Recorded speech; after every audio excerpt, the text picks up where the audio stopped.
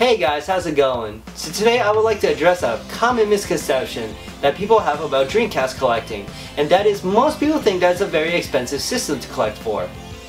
What I'm here to tell you is that in actuality there is still a whole ton of amazing Dreamcast games that you can still get for a relatively affordable price, and that's what I want to talk about in uh, this video. So, the criteria that it takes in order for these games to make it onto my list is that when they're listed on eBay, this does not include shipping. When they're listed on eBay, they are $15 and under. No exceptions, they have to be $15 and under. And, uh, oh, and I'm quite serious when I say there's like a whole ton of uh, great Dreamcast games like that you can get for a great price because if I were to like list all these uh, games in like one video, it would be way too long. So obviously what I've decided to do is basically kind of, you know, like make a mini series about th this topic. And in each one of these videos, I'm going to be talking about five games in each one of them. So I really hope you guys enjoy the series and uh, because I, I really want to make these type of videos because, you know, I really want to help like you know fellow Dreamcast collectors in getting great games for the Dreamcast because it's a, such a phenomenal system to enjoy and I, I'd rather have you guys do it uh, enjoy the system without burning your wallet. So before I go on, there's one more thing I would like to say and that is I have to say like a little disclaimer. And the disclaimer is is that you know due to like the way that the retro video game market is prices change. So obviously if you see this game sometime in the future and they're going for way more than $15 sorry there's nothing I can do about that. But what I can guarantee though is that at the time I make this video these games are $15 and under. So, with that out of the way, let's talk about 5 great Dreamcast games that you get on a budget. So the first game I'd like to talk about is Alien Front Online. This is a fantastic game and it's basically a tank simulation game which has a story that centers around like aliens invading Earth and stuff like that. And uh, the cool thing that this game does is that you can play as either the aliens or the army side. And uh, I must say, this is by far the best tank simulation game I have ever played. And uh, the gameplay is great, it's very addicting, and yeah, it has really great gameplay. But on top of that great gameplay, I think, personally, that this game has great graphics, at least for the time. Because like, well, okay, so I often call this game the battlefield of the Sega Dreamcast. And the reason why I call it that is because in the game, there are like destructible buildings that you can blow up and all that kind of stuff. And it is so amazing that Sega was actually able to pull uh, you know, stuff like that on the Sega Dreamcast. And on top of that, the game looks absolutely gorgeous, especially in VGA. Um, and one more thing I would like to say about this game is that it is revolutionary. Because, you know, the title, Alien Front Online, yes, this game is actually able to go online. And in fact, like there were some Dreamcast fans that actually brought back the servers online for this game again very recently, like a couple months ago. I played it and it's a whole heck of a lot of fun. Now, I'm sure there were games that were online before this game, but what makes this one revolutionary is because if you look on the cover, it says that it has real-time voice chat. This is the very first console game to have real-time voice chat and that is amazing. Now, unfortunately, I don't have the Dreamcast microphone, and the reason is is because, like, okay, so this game originally came in like a cardboard box along, and inside that cardboard box would be, of course, the jewel case and the microphone. I obviously don't have that because, you know, it's a lot more expensive than this, just the jewel case version, because everybody wants that instead. But what I will say though is that because everybody wants that, the jewel case version of this game is stupidly cheap stupidly cheap. I mean, like, I, it is so cheap that I must say this is like one of the cheapest Dreamcast games that I ever got for my Dreamcast library. So, is it absolutely worth the uh, the price I got it for? Oh yeah it is. This game is fantastic. I would definitely recommend adding this game to your Dreamcast collection.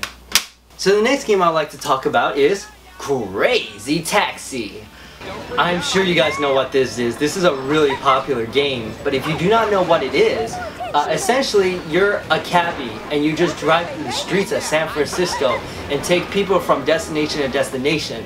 But this game does not play like a simulator. It is the has the most off the wall and craziest gameplay you will ever see.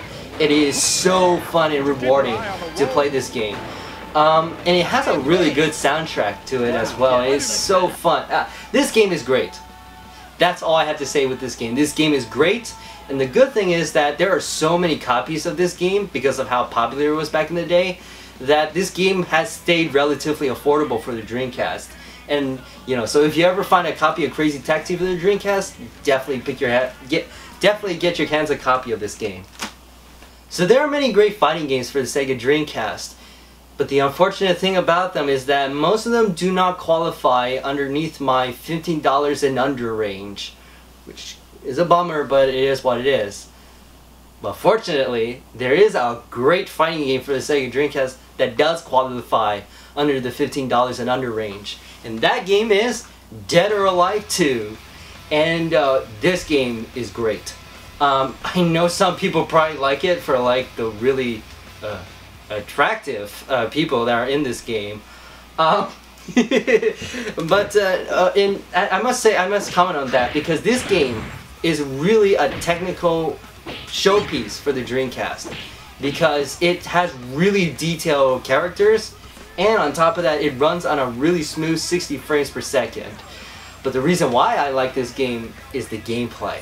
Um, it's I think the gameplay is very similar to Soul Calibur. Uh, and, and I'll explain what I mean. Basically, both of these games are great button mashing games, and um, so if you ever want to like uh, make this into like a party game where you just play with a lot of friends and stuff like that, and, and showcase like the Dreamcast uh, like amazing graphics and stuff like that, I highly recommend Dead or Alive 2. It's a great game, and I think now that I'm looking at the back of this uh, the box here, this thing supports four players.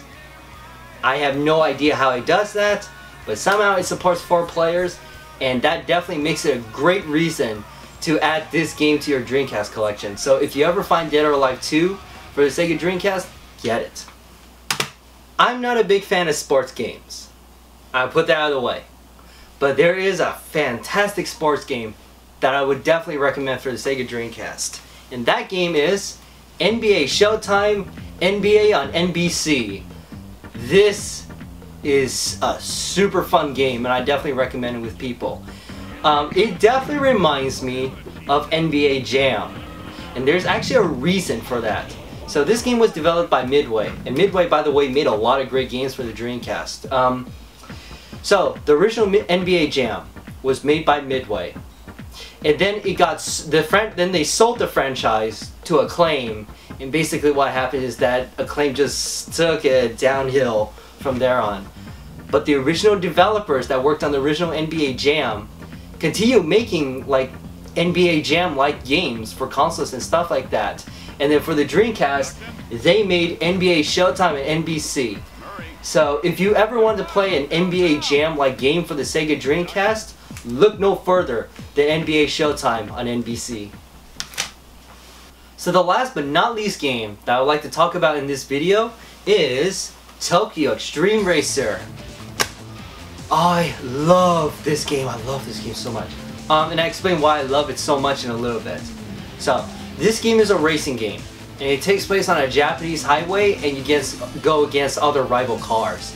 The reason why I love this game so much is because it got an interesting game mechanic that I've never seen in any other racing game.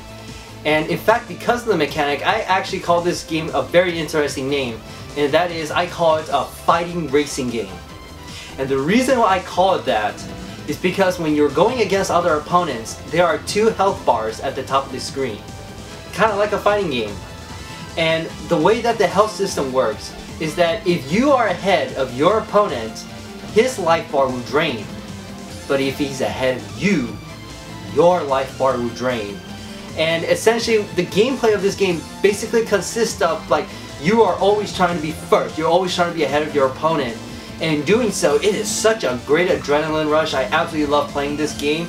In fact, I love this game so much that I actually will call it, along with its sequel, Tokyo Xtreme Racer 2, my favorite racing game of all time. And I would definitely recommend it to you guys, especially uh, for this list. The sad thing though is that um, unfortunately, people are starting to realize how good this game is, and it's rapidly approaching the $15 mark.